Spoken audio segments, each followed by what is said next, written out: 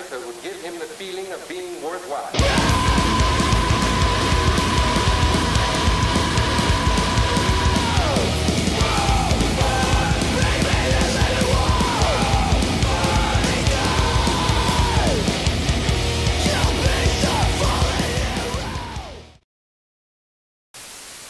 Welcome to another episode of Between Two Amps. We've got a extra special guest on today.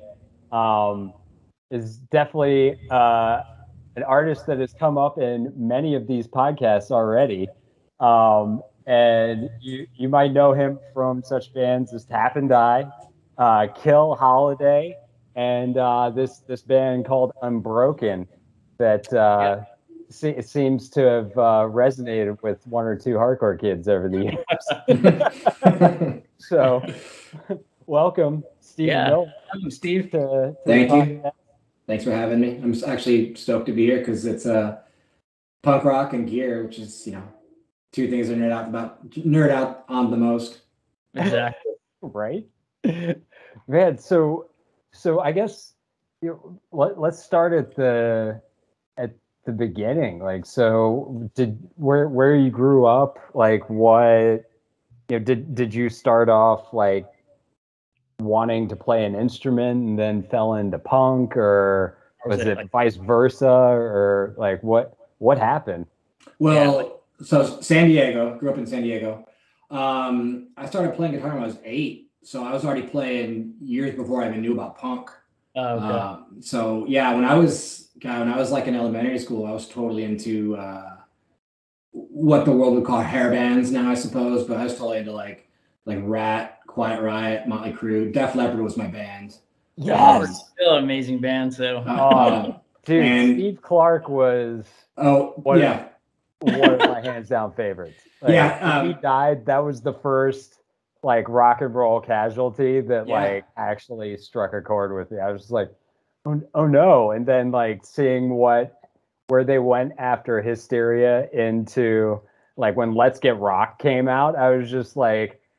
It's like, but I Mhm. like this band, but the song is not good. yeah. Um, now Steve Clark and Randy Rhoads are the two reasons why I've always gravitated towards Les Pauls and Marshalls. Like that's wow, okay. was those guys. Um, funny enough, uh, a few years back at my job, I was fortunate to meet Phil Collen, and I jammed uh, "Let It Go" with him on guitar. And uh, Hey. o- of course, I was playing it not the like a different position than they played Yeah, yeah. So, but it was just kind of like still cool. Like even get schooled by him, you know. But I told him that uh, Steve Clark was a huge like when I was a kid, like him the way he was, his presence and everything. And he said uh, like it was. uh, It it wasn't like I was hitting on a nerve. I'm sure he's you know well adjusted to it, but like Yeah. he was very passionate about telling me how close they were and how much he missed them. It was really cool. Oh, that's that's really cool. Yeah. Yeah, they do live now. Like it, it was so funny. That was that was for me the same same band. Like when that was the first like set of video like around Hysteria when that came out. Like That's my I've first always wa- concert. oh, re- Really? I wanted I wanted to go. Parents wouldn't take me. They're like, we don't like them. You, Uh, we're not going. My my mom went and I got clowned because people thought I had a chaperone, but my mom was fully into it. No, like yeah, music's always been a thing in my house. So like my mom's three favorite bands when I was growing up were like Sabbath, Alice Cooper, and Zeppelin. So like Oh, like nice. that that kind of music was always like uh, it was like I was genetically predisposed to like that stuff and totally immerse myself in it. Uh, Yeah. That's so rad. so yeah, so I started playing when I was eight, and then um, yeah, I didn't discover punk until probably junior high. So I'd already had a few years of guitar under my belt before um, before I you know found it, like really knew about it. You know, So so Yeah. what did did you have instruments around the house or was that like a battle to to get your to get a guitar when you were eight? no. Um, what happened was my mom's younger brother was still living at my grandparents' house when I was a kid, and he had a guitar, and some I don't know why or how, but they put it in my lap, and I was just kind of like just strumming it like I knew what I was doing, even though I probably didn't know what I was doing. and and my parents just took note of that. And uh, that Christmas, I got a guitar. I got like a, I got an acoustic guitar, And then a couple years later, I ended up inheriting that guitar that my uncle had, probably when I was fourth or fifth grade. What was it? Was it an acoustic guitar? You said. No, my the first one they gave me was an acoustic. His was a Hondo. Ooh. Oh, nice. What, what, what uh, like a single cut or Uh, no, it was, a, it was a Strat body. a Strat one? Buddy. Yeah, I took it apart. I wanted to know like, how it worked. Uh, I took it apart, ended up in pieces in the closet. Never looked back. so never put it back together. Mm-mm, no. So so where did you go from there? Um, so Christmas of '89, I got a uh, HM Strat, an American one. Oh Yeah. wow, those Uh, are cool. If uh, you look at the liner notes, the picture on the "You Won't Be Back" seven inch, I'm playing a teal, bluish green guitar. It's uh, it's that guitar. Teal bluish green. Because if I remember that record, uh, in the layout on that, Mandel took some of the photos, right? Probably, yeah. And uh, I think you were playing like an orange guitar. Is it like it looks like a Jackson or Charvel? I gotta go No, back. at it. Okay. No, no, it's just a it's a Strat. It's it's a it's an American made Strat, but it's got um, a Kahler Spyder tremolo system on it, which I fucking hate. I Um, don't I don't remember those. Yeah, well, because they were they're not uh you can get aftermarket parts now, I think, for them, but they're not something that was like continuously continuously made. It's dude, I still I have that guitar too. It's just it's in Uh-huh. pieces. Well, not really pieces, but I Mhm. can't really get the the trem to work right, but it's in the closet where it belongs. Got. I don't know. Those were pretty great because it was like a seven eight size body, kind of similar to like the Jackson soloist or Dinky. Yeah, or yeah, It's like yeah. Yeah. you know, in in response to that, but like what what what pickup configuration was yours? It's a it was an HSS. Oh, okay. Yeah. Yeah, th- th- those are rad. I, they they actually just started making them again. Yeah, I know, but they're not um I've seen them, I played it, but it's it's uh I don't think they're American. Um Probably not. no, it doesn't it doesn't even feel the same. Yeah. Oh man. So so in in that time, so eighty nine, like when when when was the transition to to like punk? Did did Um, you start going to shows around that time or No, I was uh, aware but not going. Um, I was what 14, 13, 14 that Yeah. year. So um, no, by that point, I mean, because prior to that, like before I knew punk, I wanted to be Johnny Marr. I was a huge Smiths fan, so I was already learning Smith songs before I was listening to the Sex Pistols. Which are And then- hard, man. Those songs are hard. I didn't say I was playing them right. I just that, that's that's just what I was trying to learn. So Yeah. um, yeah, and then somewhere somewhere in seventh, eighth grade, probably Minor Threat, Misfits, and Sex Pistols all kind of enter the radar because that's totally the starter kit for like punk kids. Yeah. You know what I mean? It's like you like the Misfits, you like this and that or whatever. And the the first Suicidal Tendencies record. Um, oh yeah, that's a good one. Those are like those are like the the door openers. Um, Yeah. So yeah, going. I, I didn't really start going to shows until ninety, I think ninety or ninety one. I can't remember. I was, I had a hard time explaining to my parents what exactly was going on that I was going to go see, and also not having rides to do a lot of things, like being aware that shows were happening, but not being able to get there. Yeah. Um, but like going going the route I went, like we were um, punk, like like the whole wardrobe, like punk rock kids, and but always into straight edge. Even before we knew what straight edge was, we had a band. Um, funny enough, Eric, Todd, and I, all from Unbroken, had a band with Cliff, who went to be in Struggle, Okay. and we were called Nation Without a Clue, and it was a total like goth punk band but we had songs like called caffeine free and stuff we were already like talking about straight edge stuff before we even fully fully knew what it was You you got know? it.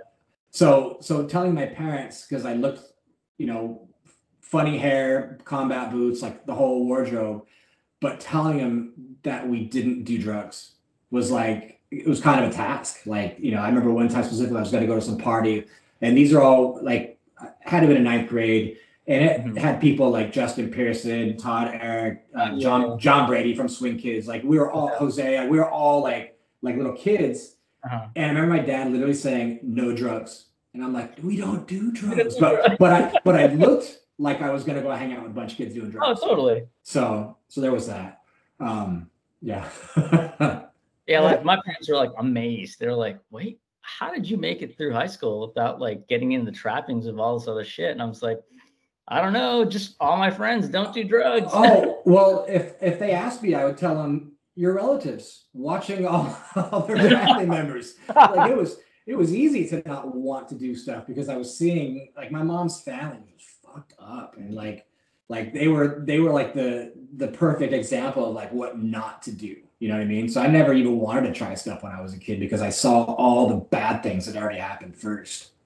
So when you were in that in that the band that was like the goth kind of punk band, what was Mhm. your what amp situation had? Like, what was your first amp? I was singing. I was just Oh, singing. you were singing. Okay. Yeah, yeah. Um, Okay. Cliff, Cliff from Sherwood was playing guitar. Eric was playing bass. Todd was playing drums, and uh, yeah, I just sang. Nice. Where would you guys practice? Todd's house. Okay. Yeah, uh, prepubescent vocals. I have got one song on a SoundCloud, and it's it's hilarious. My vo- Oh my god! I don't god. think my voice dropped yet. It was it's it's pretty uh it's pretty funny. Man, Nice. I definitely want to check that out. Yeah. Is this But I on was- your personal SoundCloud or? Yeah, um, but I was always playing. Um, yeah, it was kind of weird. Um, there was even a, a rift between all of us because Cliff was really good. Cliff grew up in a musical family. His dad taught him how to play and stuff. And Todd and Eric were two people, and these I'm talking about Todd and Eric from Unbroken, obviously. Yeah. Um, they Eric had just started playing guitar, and Todd started playing drums because he had the biggest house, and his parents had enough money to buy him drums. So we're like, "You, you're the drummer. Like you're gonna do it." So awesome. um, so I had already been playing, and I was kind of like, you know, I could play the Cure songs, I could play the Smith songs, I could figure out the Sex Pistols songs. They were all like super easy to do, which then in turn caused like a rift with everybody because I was like, oh, I can play it, I can do it, I'm cool, check me out, and uh, not knowing better, and so uh, I got I got banished for a while. They're like, he's too good. kind kind of, but not not saying it like that. But it was Yeah, yeah, definitely yeah. like like I didn't know how to handle being, for lack of a better word, good at what I was doing, or or Yeah. or better than them without like any kind of kind of uh, humility, I suppose. Yeah. Just had more experience. I mean, you started earlier. Yeah, yeah. Yeah. I mean, because before I wanted to be Brian Baker, I wanted to be Johnny Marr. So that was like, that was the, the the way I was learning how to play guitar. Um, so yeah, so what was your first like amp when you first started playing? I had a Roland Jazz Chorus. Um, no, actually, no. Well, when I was when I got the the HM Strat, it came with the Squier 15. I had I had one of those little uh, Oh, little ones, yeah, yeah, yeah. yeah. But that Roland Jazz Chorus was uh, not the 77. I think it's like the 45 or something. Um, I got that because it was an all clean amp, and in my mind, if I want to be Johnny Marr, I need a I need a clean amp. Did And you then- have? Did I have tens in it? Couldn't tell you. I don't Okay. remember. You remember Uh, Fred? What? Right, what um, right, it, it depends. Like the uh, JC 120 was uh, 212, and Okay. then um, there They was went a, down from there. Yeah. Yeah, and then uh, got a metal zone pedal to stack on top of that, which Yes. was absolutely awful. so bad. It's terrible. That's a and, and that's actually that's actually the amp that I started practicing Unbroken with. Was playing uh, that jazz chorus with the metal With zone. With a metal zone. Yeah. Really? Yeah. Yeah. oh man, yeah, those pedals, those those were kind of rough. Just, just a little just a little bit. it's it's it's how how much solid state fizz can we cram into a little box and Oh. these little extra knobs to mess with and, and see what you can tweak. So the metal zone is the second version of the heavy metal pedal, or just kind of different? Because I had that. no, actually, so there was a, a trans. I, I think it went uh, HM2 that to metal. the hyper metal, Oh, which came out early 90s and it was kind of short lived. And then the metal zone came out and kind of, and I, I don't know if the hyper, hyper, uh, hyper metal and metal zone like coexisted at the, like overlapped in, in the, in the story, but yeah. God, I wish I had still had mine. Fuck. I don't. I don't know where it is, and I'm okay. I mean, with I had a H- I had an HM2. Yeah, I didn't have a metal. I had an HM2. I had an HM2 for a minute, um, probably about 10 so years ago. I, I wanted it just to have it. Yeah. but I had no use for it. It wasn't something I was gonna to, to play in a band with, so I sold it. Yeah. So you started it with Unbroken. You were playing with the Jazz, and what was uh, everyone else? Did anyone tell you be like, "Yo, you gotta fucking get a heavier amp," or you're just kind of like, "Fuck it." Well, no, Eric. Eric had like um, some solid state Fender Congo amp, but we weren't. We were all, you know, just starting out. Um, Yeah, yeah. Like at our first, uh, geez, man, the first, like on that, uh, the Obi back seven inch, I borrowed a carbon head. I didn't even have an amp to record that record with. In fact, Oh. the first like handful of shows, uh, I was just borrowing gear. got it. Yeah. Wow. So, so, so where were y'all playing at that point? Was it like actual clubs in in San Diego, or was it um, Shows, like How- VFW halls and? Che Cafe, houses. Um, the only club at that time when we first started out was like Soma, and we were not going to play there. Wow, um, Soma's been around for that long. Dude, Soma's been around. Soma's been in three three different venues. They've had Soma. They had it downtown San Diego. They had it down uh, in uh, God, Linda Vista area, and then they have it. I think it's down at the sports arena still somewhere. Somewhere down there. Okay. Yeah, but Len was Len's a really bad dude, and uh, he the guy that owned it, and he I think he uh, he punched Eric and threw him out one time. So we're like we're, we're not we're not gonna Okay. play there.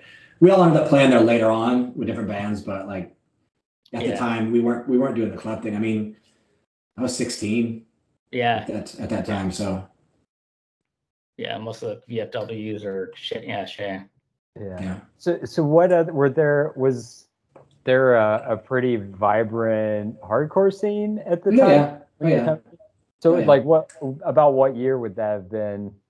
Uh, Broken started playing in '91, but without me.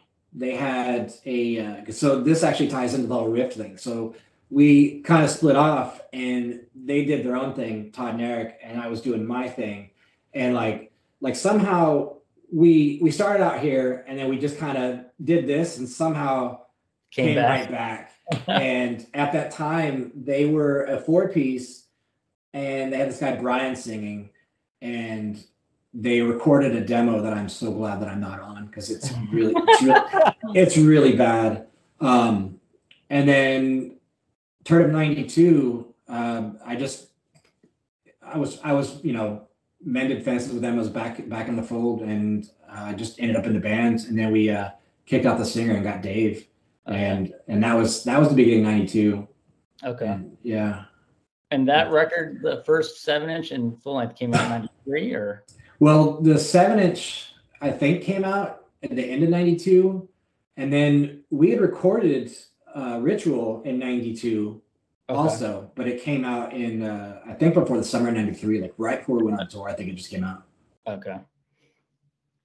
Um, I guess like from, you know, you talked about how you started learning uh, playing guitar, mostly like you know metal, oh not metal, but like you know Leppard, Def Leppard, and and uh, you know Randy Rhoads and stuff. But when you started getting more into hardcore, I should say less into punk, who were like, what were some of the bands that you're like, oh man, I want to fucking, I want my guitar to sound like this, or I want to play this fucking guitar because so and so plays this guitar, you know, or That's a good question. I think um, I I can't say. Well, DC definitely for sure. I mean, like Gibson Marshall combination. I mean, that was already on my radar. Eric and I obsessed about those before we could afford them, and that was always like the end game. Like when we finally get Les Paul, we Yeah. finally get Marshalls because we're kids. You know, we don't have any money to buy this stuff yet, and our parents Yeah. aren't really taking us seriously enough to say like, "Oh, well, I'll help you out." yeah, Um, but San Diego was very um it was very in a in an indirect way aligned with DC in the sense of like that's just what the bands we knew were playing. So like Pitchfork, John Reis was playing Les Paul and Marshall. that's right. Um, Heroin, Scott was playing Gibsons and Marshalls. Uh-huh. Uh, Cliff and Struggle, Gibson and Marshall. So it was like it's like the chocolate and peanut butter thing. Like these things just belong together, and I, I want to take a bite of that. Yeah, Um, yeah, And so that was like, you know, so I mean, obviously, you know, Brian Baker has always been a huge, huge factor with me. But you look at any, I mean, any old picture of any Dischord band, what are they playing? It's going to be Yeah. Gibson and a Marshall. So um, Yeah. that's that's what I like. But in terms of sound, I mean, I can't really say at that age I had a true understanding of tone. To, Yeah, to yeah, be to be like, okay, I, this is like, I want that sound, and I, you know, because I mean, you could hand ten people the same guitar and amp, and all ten people are probably gonna sound totally. different from one another. So, Yeah. um, so at the time, it was more like the visual aesthetic, like. Randy Rhoads played Les Paul Custom. Steve Clark played Les Paul Customs. I want a Les Paul Custom. Yeah. You know what I mean? Um, John Reis played a Les Paul Custom. I want a Les Paul Custom. Um, and I that was want to like, Les Paul custom now, but they're like five grand. uh, yeah, uh, You got, I, I got it covered. yeah, it was funny. Like, uh, see, I have uh, I've sold most of my Gibsons. There's I have one left that is like a, a '92 custom shop, um, uh, TV yellow uh, SG custom triple pickup. uh, That like, but it was all Steve Clark, like the triple pickup, like yeah, yeah. because he had those those Les he had the two main Les Pauls that were like three pickups that was like that. See, him, him, and uh, Alex Lifeson, the only two dudes who get a pass for putting a, a, a, a floater on the on the Les Paul body.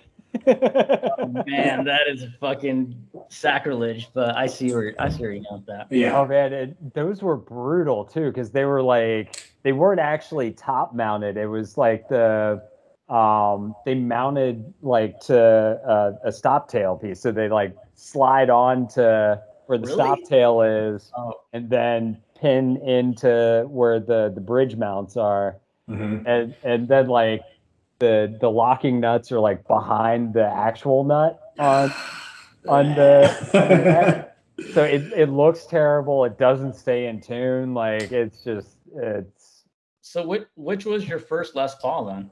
the my black custom. Black. Oh man. So Yeah. you're talking. About, we're talking about like maybe what 94 or something like that. I got it in April '95. So how much did you pay for that guitar back then? Nine hundred and fifty dollars. Fuck. It's a it's a seventy nine, Oh, and that was the price. It's Yeah. you know what I mean. Like that was that was the price. yeah. Oh, you bought it new or? No, no, I, that's a seventy nine. I got it in Yeah. ninety five. Oh yes. I mean, okay. Yeah. Yeah. Yeah. I was like, he yeah. was time traveling Oh, yeah, yeah. um I was four when I bought it. yeah. I got a I got a 72 uh, SG that I play a lot. I Yeah, yeah. played it was like my main guitar, and I bought it that time from some dude who just needed fucking money for drugs for three hundred fifty dollars. yeah. It's got an OG Bigsby on it. It is a fucking amazing guitar, and I love it. But like now, trying to like find something similar, it's like you're spending like three grand, man. Yeah, I've, I've got a I've got a '77 SG sitting in a case because I'm gonna sell it. I can't stand. I can't look at it because I know I'm gonna, I'm gonna party with it. I mean, I mean that's it's so painful to to think back on like all of this because like my first Les Paul I got like a, a black standard it was like a 91 Mm. and I think I paid 750 for it Jesus. and it's like fuck Oh, dude, my uh my first JCM 800, I paid for. I think I got for 350. Yeah. yeah You same know? thing Yeah. I got an 800 for five 500, Mm. Yeah. and I sold it like an idiot. Yeah. Yeah. We, we had talked about it before like even up until like the mid 2000s like they i could still i would still regularly see them for around 500 to 600 dollars on craigslist like in los angeles Yeah. the last one i got i think i paid 550 and then i i, I maybe sold it for like 700 and then you know it was like because it, it i feel like every time i've gotten one i'm like eh, this is this is close, but it's not quite what I want. Then I'll sell it, and then I'll be thinking, you know, I really want an 800 again. It's it's uh, it's my favorite amp. It's it's it's it's my. It favorite amp. is it is a amazing amp, I will say. Like I've played 900s and I was like, man, this is too tinny. The 800 just has the perfect. Uh, it's just a great amp with a Les Paul. I mean, you can't beat that combination for sure. No amp should have more than six knobs. That's that's that's the rule. That's the rule. that is fair. I, I I don't think my amp got the memo back. I mean, but hon- honestly, I mean, it depends what you're doing with it. But I mean, the thing about the 800 is if you stack the right pedal in front of it, you can you can do anything with it. it's yeah. Yeah. It's amazing. Do you, uh, are you do you plug usually plug in straight or do you when you're playing like in broken did you have a pedal? No, so and Unbroken. Um, it's funny now because I wish again that I wish there was things I knew then that I know now, but we didn't have the internet yet. There wasn't things where I could like learn Yeah. because you know. Um, so no pedal. We had 50 watts, so they broke up faster. But we Oh, nice, also okay. were using uh, EMGs. So instead of using a boost, the pickup was just doing all the work and uh, just plug straight in, and those things crunched right out. Yeah, yeah, yeah, totally. Um, So- I've I had two studios actually with EMGs in them. I still have a white Les Paul studio from like the late '80s. That's fucking awesome. It's my favorite guitar. and It's got Mhm. still two EMG 81s in it, and I was like, I should get rid of these. And I was like, Nah, this shit sounds pretty fucking good. So, I, glad that we have you on because it's been brought up in pretty much all of the episodes. Fender like- M80, let's do it. yes. Every time, like when we when Unbroken first played Chicago, we all were just like, "What fucking amp is that?" And everyone went out and got these M80s. Right? it's such a fucking for a solid state amp that could do fucking pretty much. I you could take a beating, man. I was Well, like, you you saw it from us. We saw it from Undertow. Oh, really? Yeah, um, because they came down and played in San Diego, and before we knew them, and those dudes, with the exception of Pettibone, but like those guys are my age, you know, a Yeah. year or two older maybe. We're just like, these kids, these guys are kids, you know, they're like 15 to 16. And Mark had a, a, a Fender M80, and you know, I didn't know the difference between tube and solid state at that time. Yeah. yeah, yeah. Uh, so we looked into it, and man, I think a couple hundred bucks, brand new Guitar Center. Yeah. They're so cheap, man. And and Eric, Eric, I, I used to say he's, he's a um, four knobs and all the crunch you could ever need. That's it. That's it. Yeah, yeah. I was like, it is a one trick pony, but it's cheap. It could take a beat. My friend's M80, he had the head one. Mhm. It was in a flood, completely underwater. Uh, We're like, shit. And he took it out. He put like dehumidifiers in front of it for like Mhm. a bunch. Plugged it back in, fired right back up. nice. Eh, I took mine. I took mine um, because the one they had the two different versions. They had the ones that were like in the the fully gray box, you know, so that the the, Yeah. the face was like the gray, what the furry, whatever. Yeah. Mine didn't have that. Mine was the kind that it was sitting like a rack mount. Yeah. And so and so it had like a um, you know, kind of like a what do you call it? Um, just some cheap wood, some cheap wood in the in the frame. So I took that out and I literally sawed that much out of both sides and just condensed it into a little little thing. And Eric went one step further and just fucking took the whole thing out of the box.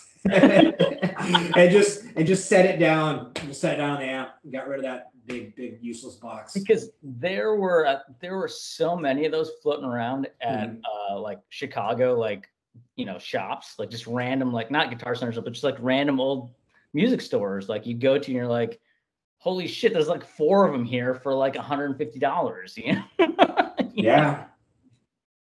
but like when you said like undertow that reminds me and you guys too well i remember seeing you guys uh, like seeing seven inch of records and stuff like that and you guys were playing these les pauls that were the wood grain ones they are fu- yes Is yes the the Paul? The Paul. Yeah. fucking great guitar This uh this is a 78 and it is, a great guitar. I gotta I gotta rebuild it. I stripped it all out. But when I Uh-huh. bought it, um usually the the switch is down here like an SG's. yeah And someone someone routed it out, so the switch is up here. uh, And then and then I just sanded it all off because it looked too much like a coffee table. Um, yeah, it's a this is a this is a project I got to work on actually. Um, sitting here, gutless.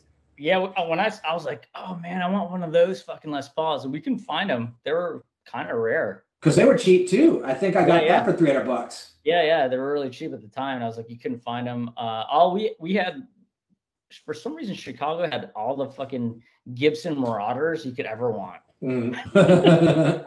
It- the the Paul was big in like uh Richmond DC scene as well. Like there um like the guitarist from Sleepy Time Trio played one, and then because of that, like this band Engine Down that you know formed from uh, Sleepy Time, they all went out, and it was just like it was 800s and the you know the Paul, like the firebrands. Oh. But I remember like in DC area because uh, Mike Schleibaum from uh, Darkest Hour had a SG firebrand, Mhm. like which was kind of like the SG version of the Paul. yeah. Um, but they were floating around. There was also um, it was like a 335 solid body uh, firebrand. So I didn't see that. I, I I've only seen one. We had a buddy in DC that that picked one up, and it, it was rad. Like because there are these awesome guitars that were super cheap compared to like all the other you know USA Gibsons, and they weren't Marauders with you know. I mean, it was good enough for Paul Stanley. So. Yeah, it was. It's true. It's true. um, did you uh what did you record uh like Life Love Regret with and, and did you switch I mean obviously you switched up tones for uh, Kill Holiday, but did you also play a uh, uh, Les Paul in, in Kill Holiday too? Oh, the Kill Holiday. The Kill Holiday started. I had the Paul because we started in '94, Oh, okay. um, and then I got the the Les Paul, the custom, and the custom was on all the recordings. So anything we put out had the the custom on it. oh, okay. Um, but Life Love Regrets and Ibanez. Really? Yeah, um, that was my high school graduation gift that I had no say on because if I knew my parents were going to spend money, I'd have gotten Les Paul sooner. uh, what Ibanez is it? It's a S540, I think. It's one That of was the thin my body first ones. guitar. Uh, My first real guitar was an S540 LTD. I have that too. Oh yeah. that- yeah, I have all my guitars. I have everything that I've ever recorded with. Um, funny enough, I got actually a funny story about that. How um, I got rid of it, and it, I found it because uh, '96 I took it to Guitar Center and I sold it to them, and I ended up picking up this black uh, Tele Custom that's back here. I, I traded in for that. And years later, like in '99, I think it was, I moved into an apartment with my friend Justin, and he had a roommate that I was like acquaintances with, but I didn't really know. And I came home and I opened, I walked by his door. He's playing guitar, and I look in, and he's playing this Black Ibanez. And I just right away, I'm like, oh, used to have a guitar just like that. Wait, let me see that. And what I had done, uh, the binding on the headstock, I had busted it off. So there's no binding on there at all. It's just the the, the front face and the headstock, and that's it. And I looked at it, I'm like, dude, where'd you get this? He goes, Guitar Center. I said, this is my guitar. Like I recorded, he was an Unbroken fan too. I said, I this is what I did Life on the Regret with. He's like, oh my God. So years later, I was trying because I'd given the Paul away too. I gave it to somebody else. And mm-hmm. I went through this thing. I'm like, oh, I, I would like to have everything I recorded with, you know? So I got the Paul back and I had been trying to get the Ibanez back from the dude. And he's like, oh man, if, if, if it was an Unbroken, like I could probably sell it for some money. Uh, so if you want it back, I'll, I'll sell it to you for like, it kept like some ridiculous amount of money. Yeah. And I was like, nah, dude, it's not, it, I, I, I'm not that sentimental, you know? So, Yeah. um, he, this dude was friends with, uh, in, in Sam's story, Sam's first band that he was playing guitar in, the drummer of that band is actually my sister's husband. And, Oh, interesting. Okay. and, and they're friends with this dude. So mm-hmm. in the early 2000s, I think mid 2000s, he, him and his family, you know, whatever they married kids, they're moving away, and he just went and dropped the gu- the Ibanez off at my sister's house and told her just give it back to me. Oh wow, that's Yeah. awesome. Wow, Yeah, so I got it back. that's crazy. That so, is so, cool. So what air? So when was the transition from M80 to was it to then 800s Mhm, Yeah. after that? So Uh, 94. 94. So, Okay, Yeah. so pretty quick. did did you actually did you record with the M80s at all, or was that just a Yeah. Uh. Life, Love, Regret. Really? yeah, Ritual too. Ritual and Life, Love, Regret are both M80s. that's so awesome. Mhm. uh, uh, Yeah. The the trick the trick of the M80 and the trick of any high gain amp is if your amp goes to 10 gain wise, knock it back to six. Like Yeah. don't don't max it out. And we never maxed them out. Yeah, it's like I I never like uh, it was like the the two knobs that I completely misused and I kind of use them in reverse now. Contour. Uh, yeah. Well, I don't have any amps with contour. the M80s had a contour thing. I was like, what the fuck is this? But similar. Uh, yeah, gain knobs were always turned way up, and mid knobs were always turned way down. so, like, so now it's reversed. Like, Yeah. Yeah. Oh, oh, mids. Check that out. Mids, And mids, gain that? don't really need that much. And, and funny enough, with metal, if more people use mids, they'd have better guitar tones. oh, it's amazing. oh, for sure. we and- the, Specifically the when you tune, when you do like low tunings, Oh yeah, for sure. you need it because otherwise it just sounds like fucking mud and it sounds like it's mm-hmm. in a fucking tunnel. You know, it's yeah, like yeah. that was my problem with the the rectifier. You know, it's like I have it because it's a workhorse, but um, I have to cut the gain on that thing all the way just so it doesn't sound so machine like. You know, You even though- you, you got to put a two string over those things too to kind of tighten them back up. oh yeah, I should try that. I haven't tried that. Yeah, Yeah. there's like I've got a, a couple rectifier stories. like when uh, um, when when we were, and this was kind of like a a, a tone awakening for me. Was like uh, Darkest Hour was out on tour with um, Lamb of God and uh, Six Feet Under, and we never had like a, a sound guy or anything like that, and um, didn't on that tour. But you know, we're you know, kind of the underdogs on the tour. So everybody was like super nice to us. So like, you know, Lamb of God sound guy started doing sound for us. And then one day we were like doing a sound check. He's like, how do you have your amp set up? like, hey, let me let me help you out here. That was it was like a hint. fix this for you. And just like, and I had a rectifier at, at the time. It was just like mids up, treble up, bass way down. Down. He's like, gain, don't need that much. Yeah. I was Yeah. like, oh, whoa, you can hear notes now. This is so neat. That and that's that was the thing about when you switch to uh, an 800 after playing an M80. It's like, oh wait, I actually have to know what I'm doing now because there's so much more clarity in the in the sound. Yeah, I learned that when I started playing uh Fender Deville, just any Fender clean amp, you know. And I was like, Mhm. oh, shit, you know, you gotta fucking play. You know, you got can't just fucking hit hit noise. You know, it's like Oh, it, it, it changes too when you start using like PFF, PAF style pickups. So you get real Oh, high output stuff. That's when the chime starts happening. You're like, okay, there's everything on here is is uh is audible now, you know? Man, did you um I guess like what was a band like a hardcore band that you were just like you know that, that would play or that you saw, you know, that was from maybe Southern California um that you were just like, man, this is the band that's got the energy, they got the fucking riffs, they got the yeah, I was okay. I never I, I- never wanted to be in a metal band. I Mhm. wanted to be in Chain of Strength. Mhm. I wanted to be in Chain of Strength more than anything else. Could never find a drummer to play like Chris Bratton. And that was it was it, it if it wasn't gonna be Chris Bratton, it was never gonna happen. So Yeah. um yeah, I never I never uh, I never got to do my chain band. Because like be, I because I knew you were you know when we, we were gonna have you on I was like oh I know like you're a big Chain Strength fan and I used to be too and I was like I'm gonna go look go back and listen to this rec- these records I haven't listened to in a long time man that Foundation seven inch is so fucking killer Yeah. still Um Chain of Strength and Swiz, that's Okay. that's the two most important. Those are like my top two of my top five favorite bands right there. Mhm. Like um everything about both those bands is like what my favorite hardcore is.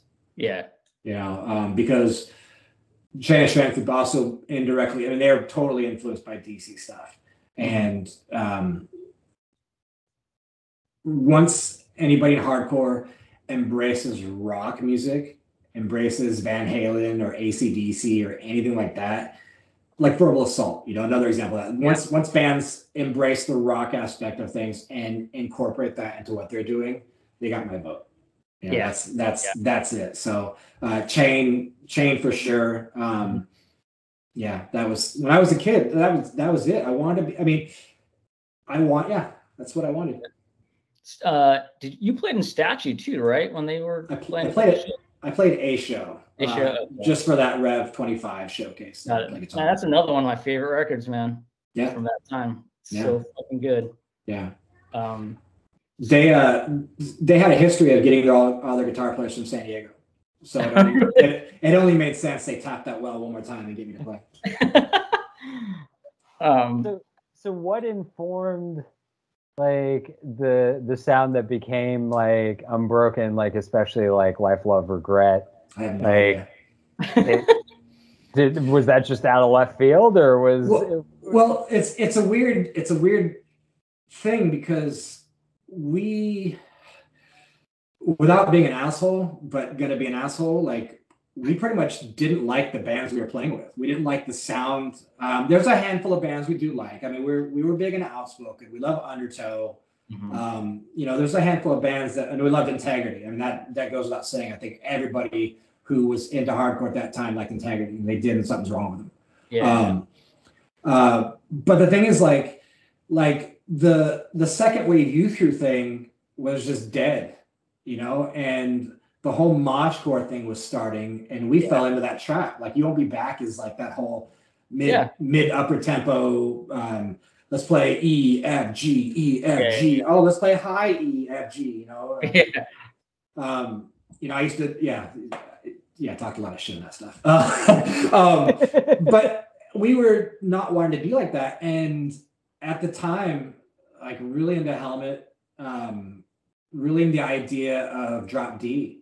And nobody in hardcore was doing that yet. At least if, if they were, we didn't know about it because Yeah. again, no internet. Like there's no Yeah, such, yeah, you know, it's like Mhm. if someone's doing it and we're doing it at the same time, it's just one of those happy accidents. Like Slip came out and had drop D stuff. And we're Oh, like, yeah. oh, Dude, I was like, oh my, yeah, that record changed it, changed the game for me as far as playing guitar. but we had we had life love regret songs already written before we started recording ritual we were Oh. already we were in 92 we were already doing those songs and we did ritual with with the songs we did um, because we were kind of in a rush and all those songs the ritual stuff all chemistry wise work together like the, the life love regret songs would not work on a record mixed with with ritual um, but if you saw us, if you saw us play live during that time, you'd hear a lot of. "Durr." All right, with songs like. "Durr, durr." um, so no tuner in your signal chain? tuners, what's that? back then, yeah, a tune- a, a tuner was, hey, give me, give me an A. yeah. Um, we oh, used, dude, we used to tune to the Judge record at home, put on that opening feedback of bringing it down. No All right. way, really. There's your E, and then on landlines, uh, the dial tone was a D. Are you serious? I'm Dead serious. That's, oh, that Dial, dial was a D. but Um, it's, it's like I feel like I mean, there was a lot of bands that like Van Halen didn't use to like like first couple records. Like it's just like give me an A. You Yeah. never write tunes to whoever had an A. Back in Black is like one of those Oh, yeah. records where Angus. it's, it's not it's not perfectly an A440. Oh. It's like some weird like tweaked a little bit, you know.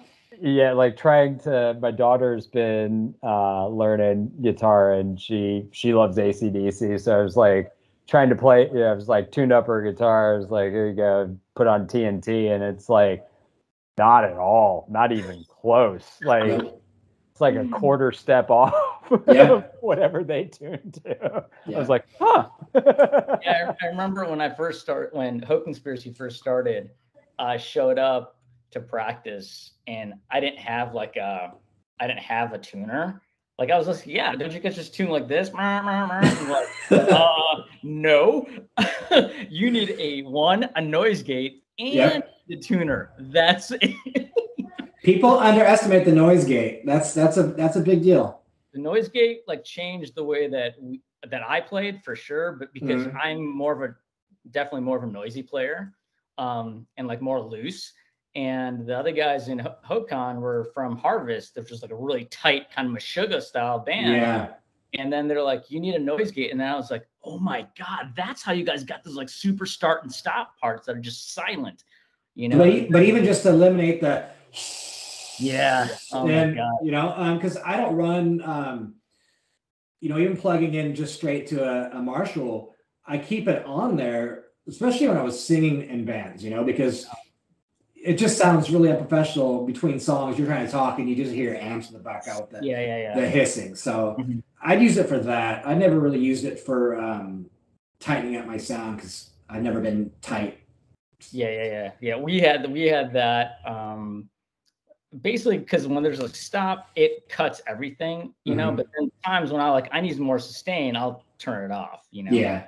But it was definitely like the tuning thing. I was like, oh yeah, tuner, this is amazing. yeah, we, we ended up getting tuners later on though. I think we had some uh God, I forgot who made it. It was just one of those like straight through, though you don't hit a switch, you just turn your amp off and you could run it through the um oh yeah. Is it the Boss TU12? no, was it was it a It, it- they're like I the little square uh, but or but, but rectangular. the but the front of it was kind of sloped down with the screen you could see. Oh, I know what you're talking Oh, about. I- I, know exactly what you're talking about. It had like a white, like Mhm. white inset, right? It had like Yeah. dotted like lights on it. Yeah. Yeah, no, a- the T the T twelve was the one that had the case, right? Yeah, the case. And, and the cool players would put it under their head, but above their cabinet.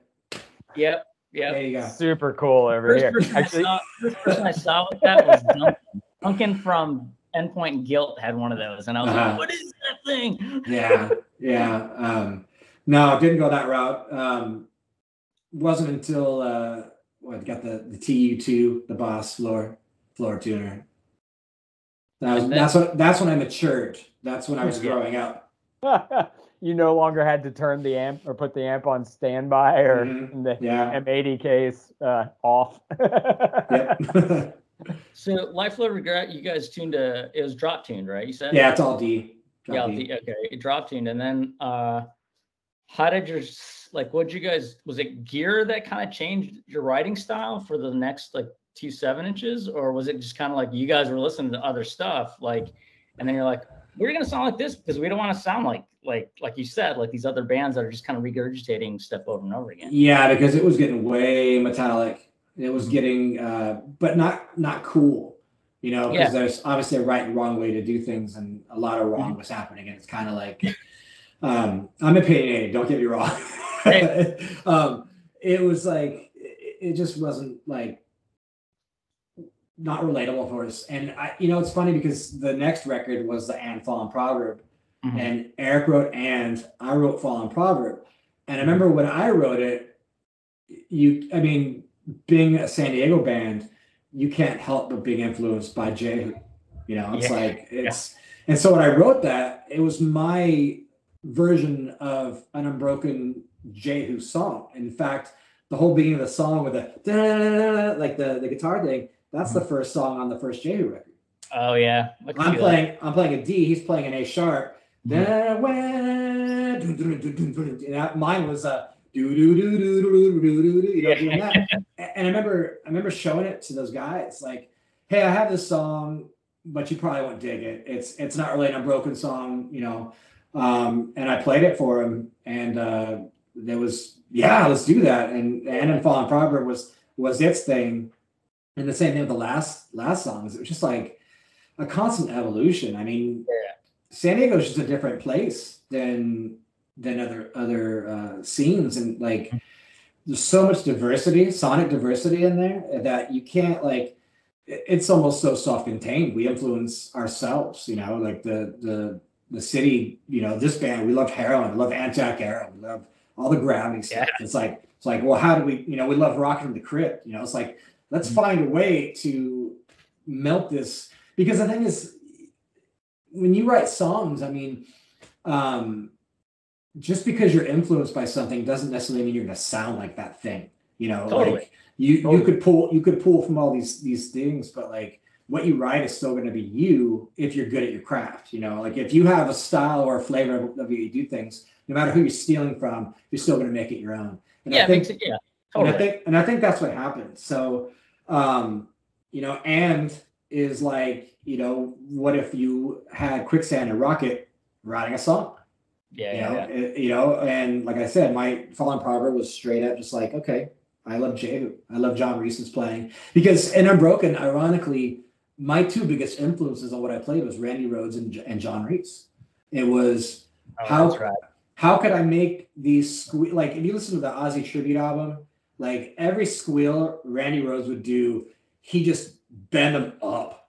You know, not not like an annoying Zakk Wylde squeal, but like but I, but I like I like his squeals too. yeah, but dude, but he doesn't know when to lay off. It's just like Oh, it's, no. it's just like It's not, ta- it's not tasteful. it's it's it's it's too It many. used it used to be. It's not anymore. Um, but Randy, but Randy Rhoads would do them where he would like and he like tweak them, you know. Um, and I stole that. I would I would tweak the the pinch all the time because of him. Um, and then John Reis was like, "All right, well let's uh, the spastic strumming or using uh, EMGs and putting it against your your 800 and making the tube squeal and getting those ray gun noises that he Oh, would do, you know." Um, and just being sloppy. I mean, San Diego just had that element of punk where, you know, heroin, just dudes going Oh, yeah. nuts and just, just being chaotic. And so, like, you know, we talk about the noise gate thing, but the noise gate and Unbroken would just be ridiculous. I know. Um, the, well, that's that was the thing when I first started because I was like, I wanted to be noisy. You know, I saw you guys, I saw Undertow. It wasn't like this like mosh core. You know what I'm saying? Like you didn't want to be like that. And then yeah, you know, when I started playing with Hokon, I was like, oh, I could see where you can use the noise gate and I could still have my sound, which is because the other guitar player was very tight and very like kind of robotic. And I was able to really open up and just kind of like be me, you know, in a way, but Mhm. still kind of do the blend. But I totally get it. Yeah. yeah. It's like you wouldn't be that band if you had X, you know, this this type of gear that you're playing with. and and Eric and I, we really rubbed off at each other. Um, we're different and similar in so many ways in in that world and, and playing uh, Unbroken. And I was playing in, in this band called Julia at the time too when I was in high Oh, yeah, I remember that. Definitely. And and so like Eric was kind of branched out doing Swing Kids, and I was doing Julia, and Julia was way more. um I don't know. it- You, you called it emo then because there was no other I know. word for that genre, but Yeah. like the noisier, you know, it's cool to Yeah. roll around the floor and act like you're crying kind of shit where you make a bunch of noise. Yeah, yeah. I, I, I, I actually love those bands. I, that stuff is making a comeback apparently. Is it? Okay. Yeah, I, I don't know. That's what everyone told me, you know. like, oh, Get a, get a frail reunion going or I, I, I like Frail. Yeah,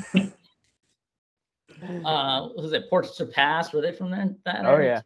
yeah, yeah, yeah. Um, Indian Summer, all the Yeah, emulation I stuff. remember Indian Summer a lot. Yeah, Mohinder, uh, Moss Icon. I loved that shit. Was really good. Yeah. So Um, what what was it? Did you have any in- or take any influences that would surprise people, like outside of like like in in pop music or even like main like anything that like you would draw from for songwriting outside uh you know kind of the punk scene in San Diego. That's a, no, I don't know. I don't know. I mean, just naming Randy Rhoads would be kind of like. Well, yeah, I, know, I, I guess that kind of fits. that that would be something because it's not something you hear in, in my playing, uh, but it was something that was influential to the way I wanted to make noise. You know what I mean? Um, yeah. Now, I mean, the thing about hardcore, like, I wasn't really into a lot of the stuff in the '90s. I was. I'm stuck in the '80s. I'm still stuck in the '80s. Mhm. Um, there's very few bands that were in the '90s that I like, and there are bands in when the when the century turned, but it, I liked more of the metal sounding stuff, and I was never really a metal metal fan, you know. Um, yeah, it's kind of weird. Um, it's it's ironic in a way because Eric and I are not metal people, yet we wrote stuff that helped influence metal in hardcore. You know what I mean? yeah, Um, sure. but I didn't. I, I wouldn't listen to us. like like in, in, in, Back then, right? yeah, in '94, if you handed me a band that sounded like Unbroken, I'd probably be like, okay, because I didn't care for the other bands that were of a similar sound at the time. You know what I mean? Um, it's kind of weird. You guys recorded the seven inches with Issa, right? And Ken Olden. We did the Anfall and Proverb with Ken. Yeah, So what gear did you guys have? Because that was on the road, right? You guys did that in yeah. We used uh, we used Ken's uh, A hundreds, and he used that rat pedal. Get that yeah. that sound, which I never.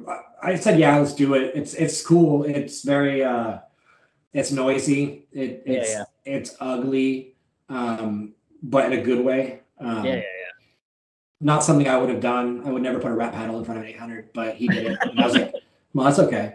Yeah, yeah. It, it, there's something the the secret about that sauce in pedal. that that like I was just listening to um No More Dreams the record Damnation. yeah, Yeah. Damnation the other uh, the day before yesterday and like that guitar tone is insane like I mean it's just like it's I'm just I don't know if it's something that I would play Yeah. but it's just like I For love that- that it exists yeah, for that band and for that like what they're going for, it just fit. You know, Yeah. you're like, oh, this makes sense. You know? But but that's the thing we're talking about. Like we use Ken's rig, but it doesn't sound like their stuff. It's still exactly. Like if you sounds like us. you tell me now that you've used Ken's rig, I was like, oh really? Because it sounds like you. It doesn't sound like Ken. Yeah. you know?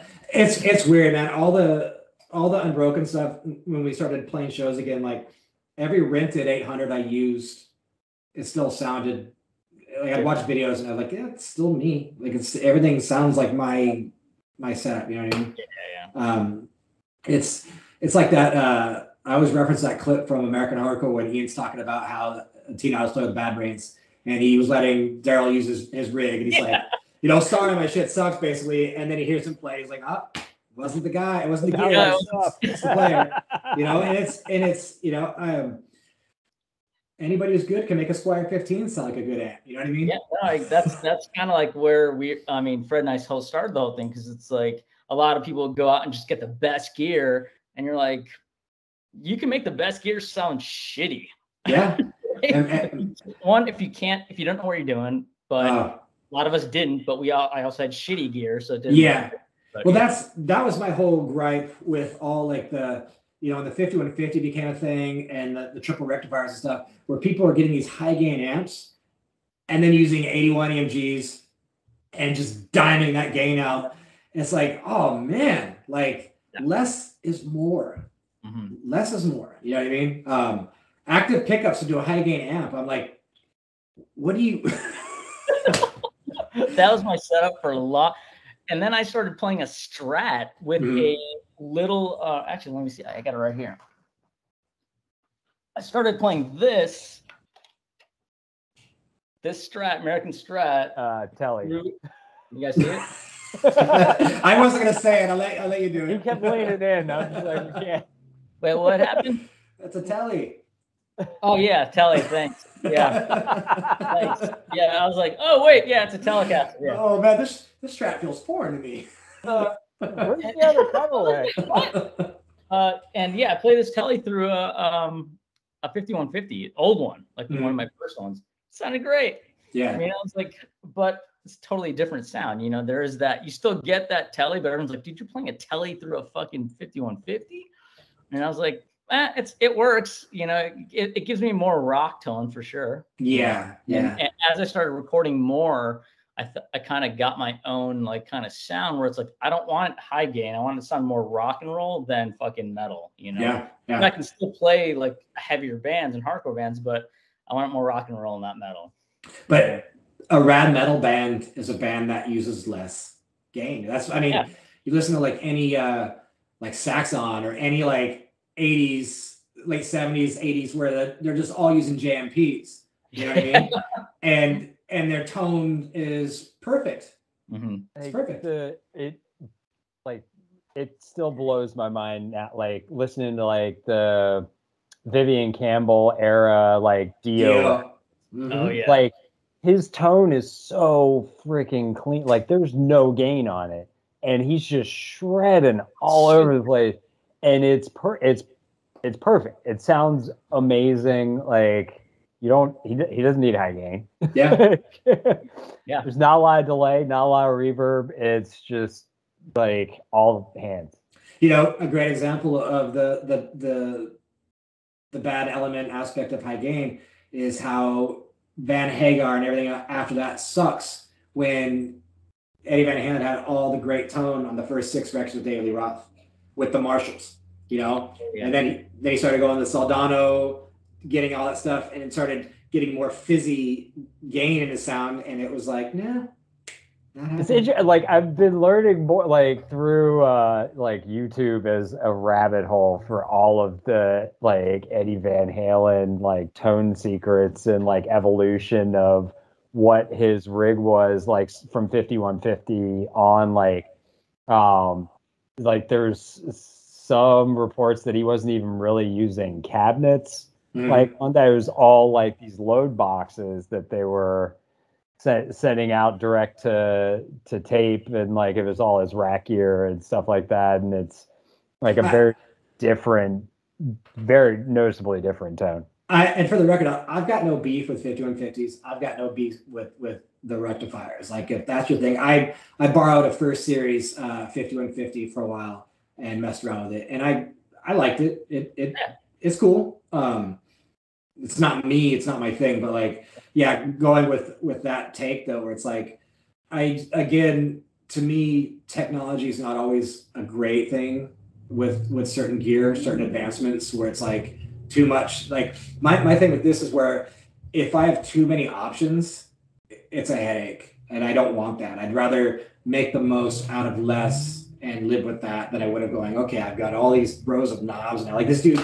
Um, I did a band in Orange County uh, called Crush on You, which actually Indecision is going to put that out finally. Oh, Um, but it was like a you know kind of like a, a pop punk rock and roll kind of sound and whatnot know and i was playing uh depending on how i was feeling i either play that 800 or i play this plexi behind me. You guys can see that. Oh dude what so what year is that plexi? Okay so get ready. Um it's a limited edition 97 plexi they made for NAMM. So only 250 of that amp exist. Uh, They made 250 of the 50s, 50 watts, which is that, 250 of the 100 watt plexis, and 250 of the Blues Breaker. And they released them for NAMM that year. god damn it god damn it so is is it is, is it the 1987 Yep. X? oh Mhm. god Yeah. damn. those those are kind of perfect Yeah. Like I, I, I because like, damn it, like because like a lot of the like the ACDC to, like uh, on, I can't, uh, a lot of the records were JTM 45s. Well, actually, no, it was the it was the 1987 X. Was it? like he was Okay. Using um, I, I, it was I think Powerage was uh, a 50 watt. Okay. Um, but he he had one that was like kind of he he doesn't remember like the the because like I don't know if you've watched any like hit, there's like a rig rundown of like Yeah, I- yeah. and it's like you know they have like a full like uh back like backups for backups and backups so it's like a hundred heads out on the road with Yeah. Them in various stages of disrepair. That's gnarly. I know. I, I did see that one. um yeah there there's definitely like um dave dave friedman from friedman amps was talking about like what the the heads were on on certain uh on certain albums because i always thought like I, I think jtm 45s were definitely in there but i think some of the like back in black was a 50 watt um yeah, which i didn't realize and then yeah so long story short that had rips I uh I traded an Ampeg 810 bass cabinet to some dude for that. Are you serious? shut up Yeah. Oh my god. Oh man, that is a fucking steal. Holy I know. shit. And, and and ironically, um, the 800 I have when I was unbroken, it stopped working. I didn't have the money to get it fixed because we're you know, there comes a point in your life where you can afford to now add on to your gear. But Yeah. this was that point in your life before that where you had to get rid of gear to get other gear. You couldn't gear. just Oh, you yeah. know. And so this was one of those times where I needed a. Uh, I was playing bass in a band called Love Light Shine, which is post Jejune, like the band those dudes did after Okay. Jejune. Um, and so I needed a bass rig, and I ended up parting with that 800 to get the 810 cabinet from this dude. And it, the amp didn't work, so I was kind of like, well, I'm not, I can't fix it. I already had, I had a 100 watt JMP at the time, um, so I was like, okay, this this amp's expendable. I can get rid of this, and I always regretted that because you know that's an awesome amp. It was an 82 50 watt 800 that I no longer have. But Mhm. then I got my, you know, got this plexi and it's placed for the same base cabinet. So it almost like in my in my mind, I traded the 800 and got a plexi out of it. But you know, Well, did did you give the guy the? Uh, did you save like the text in the Craigslist ad for when uh, he he was going to sell the uh, 810 inevitably? no, it was a it was a roommate. It was a roommate. Oh, really? Uh, yeah. Yeah. Oh god, that's a fucking good. That's a steal. Holy Yeah. shit. Yeah. And well, um, I, I know we've we've had, held you out here for for quite a while. Um, is there an, anything you want to plug or? Uh, Uh, Um, I'm boring. I've got nothing. Uh, let me ask you this. Uh, if there's one piece of gear that you have had the whole time that you need, absolutely, like is it a pedal, guitar, amp, whatever? It looks like it's a JCM 800, no matter what. I have I, I have everything I need, and and um, I always have these nerd talks with friends and say like, okay, man, if you could have one piece of gear right now, if you could get one thing, what would you get? And I'm like, well, I have everything that I could possibly need. Um, you know, I've got the cabinet I want, I've got the speakers I want, I've got the heads I want, I've got every guitar I need, I've got like, you know, a couple customs, I've got a, some standards, I've got a special with P90s, I've got a, a Jaguar, I got a Strat, I've got two tellies, like all the all the soundscapes that I could possibly need for something um are here in this room. Um, I've got combo amps, I've got the big amps, so it's like all the different, you know, food groups are represented. But then ironically, I really just use one guitar and one amp. So it's um and the same thing with pedals. I've got all these all these pedals and I they're useless to me. I have them, but I Yeah, don't yeah. I don't mess around with them. Kill Holiday, I, ra- I ran a, a ton of pedals, and that was like kind of annoying um because we were doing more of like a shoegazy Yeah, mix of stuff and that revelation stuff, and so that oh and actually that band that uh I played in when we played with you guys at the when you were doing beginners Oh yeah, um, yeah. that band I used I used a ton of pedals, but I was just just playing guitar, so I didn't have to really worry about uh, singing. Yeah, yeah. Yeah. Yeah, I kind of, I've kind of reached my wits with pedals. So I bought one of those Line Six um, floor models, and I'm like, I'm pulling my hair out because I'm sick of carrying gear. So I'm like, Fred knows. I'm like trying different like little pedal power amps and shit. I'm just like, you know what? And the other other day we just plugged it straight into a fucking amp, and we're like, all right, well that's it. No no fractals, no helix, no uh, yeah, Kempers.